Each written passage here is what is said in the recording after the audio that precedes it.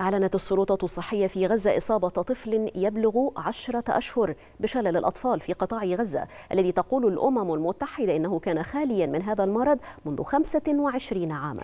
انضم الأمين العام للأمم المتحدة إلى منظمة الصحة العالمية ومنظمة الأمم المتحدة للطفولة اليونيسف للمطالبة بهدنتين إنسانيتين من سبعة أيام ليتسنى تلقيح أكثر من 640 ألف طفل دون العاشرة ضد شلل الأطفال وذلك بعد رصد الفيروس في مياه الصرف الصحي في القطاع. لم يعد غريبا أن تسجل السلطات الصحية في غزة أول حالة إصابة بشلل الأطفال في القطاع بل الأكثر إدهاشا أن تكتشف حالة واحدة فقط. لطفل عمره لا يزيد عن عشرة أشهر في مكان تم تفريغه عمدا من كل مقومات الحياة وتعبئته بكل مقومات الموت والدمار. فما بين نقص الغذاء الذي وصل إلى حد التجويع وما يعقبه من تدهور الوضع الصحي للمدنيين ونقص احتياجات النظافة الأساسية وعدم توفر خدمات الصرف الصحي وتراكم النفايات في الشوارع وحول أماكن إيواء النازحين وعدم توفر مياه الشرب الآمنة. كل هذا خلق بيئة حاضنة للعديد من الأمراض والأوبئة وأولها الأمراض المنقولة بالمياه مثل فيروس شلل الأطفال.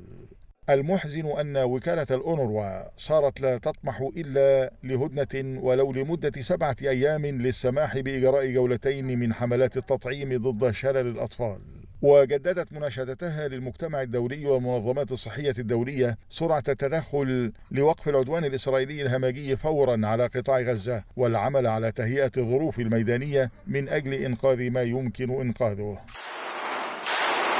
أما السلطات الصحية في غزة فقد وجهت نداء عاجلا لكافة المنظمات والهيئات الدولية بضرورة العمل الفوري لإعادة بناء أنظمة مياه الشرب الآمنة والصرف الصحي والتخلص من النفايات الطبية والصلبة والعمل على إدخال الوقود لضخ المياه العذبة النقية والسماح غير المشروط لدخول الإمدادات الطبية والأدوية والمواد الخاصة التي تستعمل للنظافة الشخصية. وأكدت السلطات أنها ستنفذ حملة تطعيم خلال الأيام القليلة المقبلة. تستهدف الأطفال تحت سن عشر سنوات حيث تم توفير مليون ومائتي ألف جرعة من تطعيم شلل الأطفال من النوع الثاني بالتنسيق مع منظمة الأمم المتحدة للطفولة يونيسيف. هذا وما زال الفلسطينيون يقاومون جميع أشكال الحروب من القتل والترهيب والتشريد والتجويع وسط عالم سد أذنيه عن سماع استغاثاتهم وتكالبت عليهم جميع الظروف. ولكنهم على الرغم من كل هذا لا يزالون صامدين. ولا غرابة فهم الشعب صاحب الأرض.